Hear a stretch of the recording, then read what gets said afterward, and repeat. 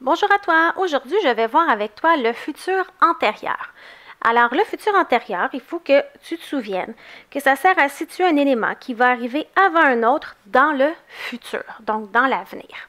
Comment il est construit ce verbe-là? C'est que tu vas avoir l'auxiliaire avoir ou bien l'auxiliaire être qui est au futur simple, suivi du verbe au participe passé.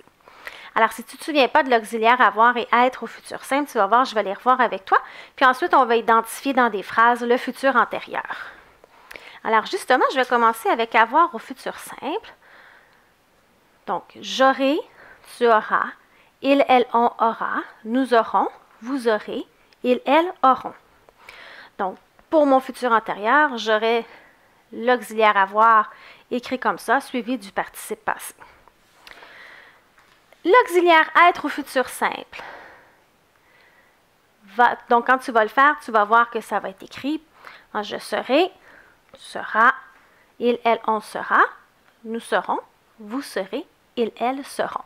Alors, je vais avoir mon verbe être qui va être auxiliaire, suivi du participe passé. Alors justement, on va aller voir ensemble deux phrases où on va trouver les verbes qui sont au futur antérieur. Première phrase.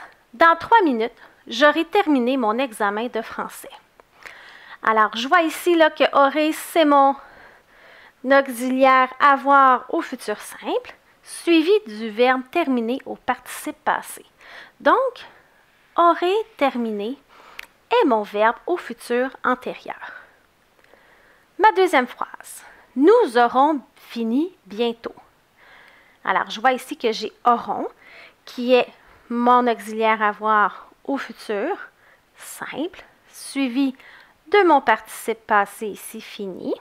Donc, auront fini est mon verbe au futur antérieur.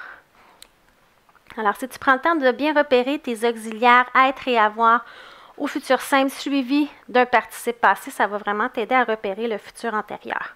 Alors, n'oublie pas d'aimer ma publication et de t'abonner à ma chaîne YouTube.